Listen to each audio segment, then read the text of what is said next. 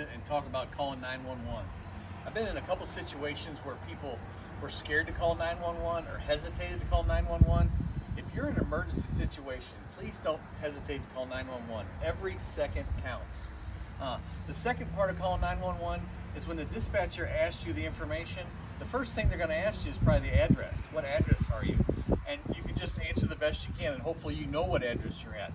Uh, in commercial construction, we require a six-inch address number. In residential construction, we require a four-inch address number. We like for them to be in a contrasting color to the background they're established on. Most of the time in commercial construction, you'll see white letters on the front of the glass. We like the white letters on the glass because at night, if we shine a light on the glass, we're still gonna see those white numbers, white letters. If you got any questions about addresses, please let us know. Thank you.